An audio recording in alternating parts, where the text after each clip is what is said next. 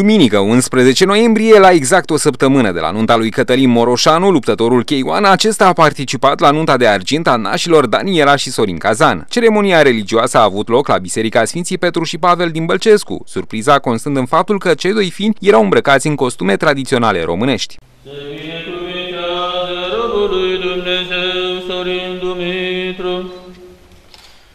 Cu lui Dumnezeu Daniela, în numele Tatălui și al Fiului și al Sfântului Duh, se binecuvintează robul lui Dumnezeu Sorin Dumitru, cu robul lui Dumnezeu Daniel, în numele Tatălui și al Fiului și al Sfântului Duh.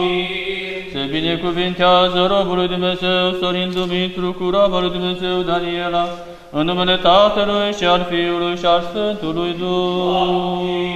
Se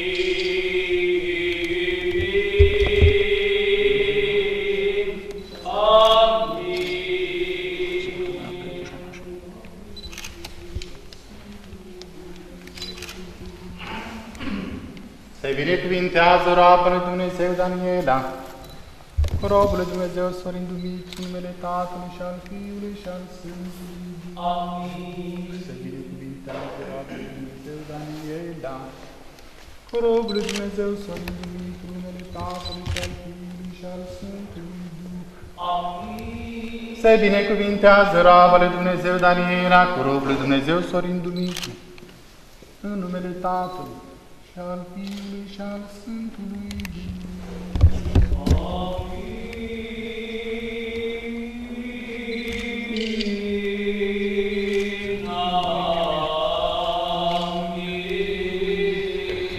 Cei doi soți trecuți de primul sfert de viac al căsniciei au explicat secretul trăiniciei acesteia. Nu mai suntem poate la vârsta la care o aveam acum 25 de ani, când eram tineri, umblam după tot ce era la modă, tot ce era în top, uh, în cei 25 de ani de la căsătorie, până acum și eu și soția, cu ajutorul Dumnezeu ne-am putut permite să purtăm tot ce am vrut să purtăm și pentru a marca un moment foarte important, pentru noi vă spun sincer, e un moment foarte important din viață, 25 de ani de căsătorie, cum a spus și soția, uh, ne-am uh, acceptat unul pe altul, și cu bune și cu rele, ne-am iertat unul pe altul, mai multe, mai puțin eu, când am avut ce ierta, Uh, asta e realitatea. De ce să nu spunem pe nume?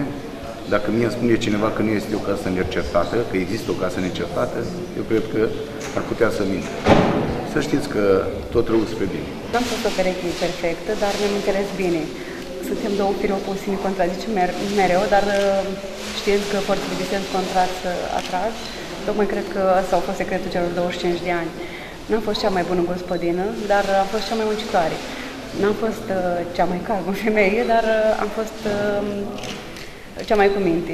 Sunt foarte mândru, în primul rând, uh, și bucuros de familia care mi-am întemeiat acum 25 de ani, de soția pe care mi-am ales-o și sunt foarte bucuros de copiii pe care mi-a dăruit soția mea, cele două fete, care una din ele are 24 de ani, iar cealaltă 17.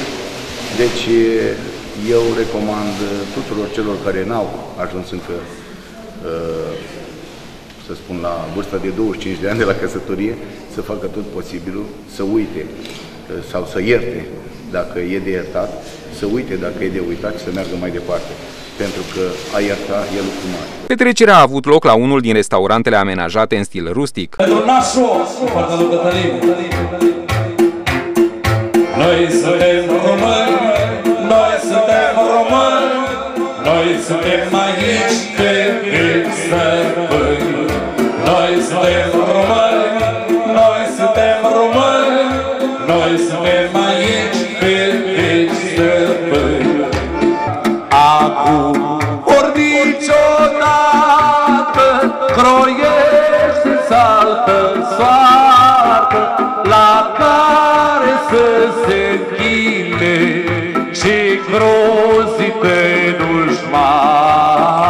dușman, și grozită dușman. Surpriza serii a constituit-o, ca de obicei, prezența lui Cătălin Moroșanu, care a demonstrat că știe să facă nu doar sport, ci să fie și un om de viață, cântând la nuntă și muzică patriotică. Sunt uh, profund emoționat să fiu la această nuntă, nunta de argint, au rămas profund impresionat de, de îmbrăcămintea lor națională. Deci când am văzut acest lucru, efectiv am rămas uimit pentru că sunt români adevărați. Și așa ar trebui să, fim, să fim toți îmbrăcați în acest moment special, să fim toți îmbrăcați în, în uh, costum național românesc, cu tricolorul la, uh, la brâu. Este extraordinar. Mă simt foarte bine. Sunt mândru că l-am pe domnul uh, Sorin Cazan, nașul meu, pentru că este un om religios, este un om care are frică de Dumnezeu și cred că cam toți românii ziua de azi ar trebui să aibă frică de Dumnezeu. Și este un om extraordinar și pentru acest lucru eu am o relație specială cu el. Mă bucur că, că fac parte la această petrecere, care este o petrecere restrânsă numai între rude și cred că cam toți ar trebui să avem astfel de petreceri între rude, între prieteni adevărați, să te simți ca la tine acasă, să te simți bine. Vă spun sincer, mă simt extraordinar de, de bine în seara aceasta. Nașule, îți urez două lucruri, să rămâi același om, pentru că Dumnezeu să aibă grijă de, de tine și îmi doresc ca la 50 de ani, când o să ai nunta de aur, să am și o pe de argint. Adică să facem în același timp, să facem amândoi aceeași nuntă, să facem o nuntă frumoasă, să avem copii frumoși, uh, să fim mândri de cele două fete ale tale ca niște fete extraordinare, le-ai educat, le-ai crescut foarte bine și cred că este o familie model pentru locuitorii din, uh, din județul Roman, pentru că așa ar trebui să fie toată lumea, educați, uh, copii care să țintească cât mai sus și să ducă viitorul României cât mai departe. La nunta de argint a familiei Cazan au participat aproximativ 25 de familii formate din rude, prieteni, apropiați, fini cu metri, care s-au distrat până aproape de miezul nopții.